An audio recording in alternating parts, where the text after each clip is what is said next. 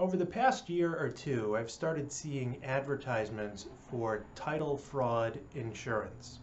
So the people who sell this insurance um, say that fraudsters are able to uh, add their name to your property, essentially do a fraudulent deed, and ostensibly transfer the title from you, the homeowner, to them, the, the fraudster, the criminal, and then the person then uses that to get a mortgage on your house and uh, of course the criminal doesn't pay back the mortgage and uh, the bank forecloses on your home. This is the um, the way it's described by the people who sell title fraud insurance.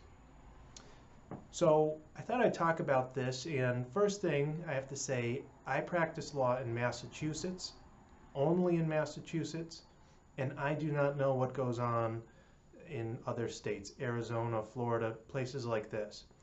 All right, so this could be a real problem in other states.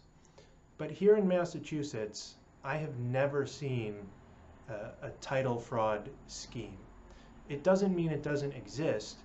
I just look at this, this stuff all day long, real estate law, real estate documents, um, an owner's title, and so forth and I've never seen one of these schemes uh, even attempted.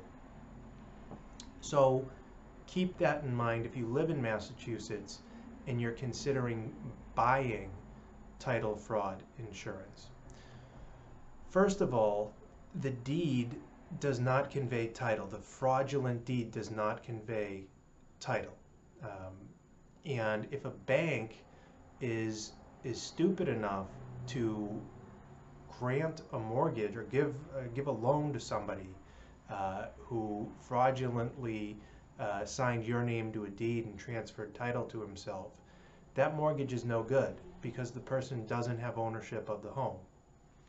Now, yes, you you would, in theory, you'd have to go to court to get the court to sort of extinguish the mortgage uh, or invalidate the mortgage or whatever. But there's there's almost no way legally speaking, that the bank could foreclose on a loan that they granted and took your home as collateral when the borrower did not have title to the home.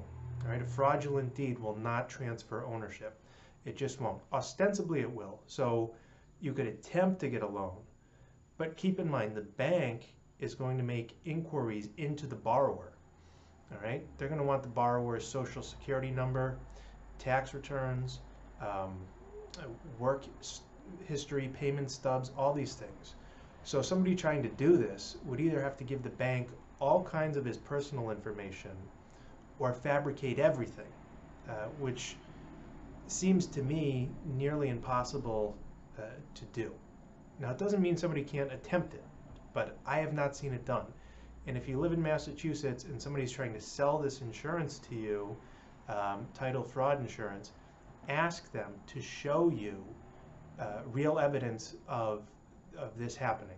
Right, not just testimonials, but actual documents from, uh, say, the Registry of Deeds where a fraudulent deed was recorded, and based on that fraudulent deed, a bank foreclosed on, on a loan that was granted based on the, the uh, fraudulent deed. All right? I don't think anybody's going to be able to provide you with much evidence of that. And then lastly, I just want to distinguish between title fraud insurance and title insurance. So title fraud insurance is what I've been talking about here. Um, title insurance is something different. Title insurance protects your legal ownership to the house after you buy it if a legal problem crops up. So let's say you buy a house and you later on you go to sell that house or to get a, a loan on the house or something like that. the next lawyer looks at the title and says, wait a minute, um, there's an issue with a, a probate that's in the chain of title, or there was a lien on the property that the lawyer missed when you bought it, uh, or there's some kind of legal problem like that. Those are very real problems, and title insurance protects you against those problems. All right, so if you have a question about um, title insurance, about real estate law, uh, or if you have a general question about title fraud insurance, uh, feel free to send me an email uh, or send me a message on my blog, and I'd be happy to, to talk with you.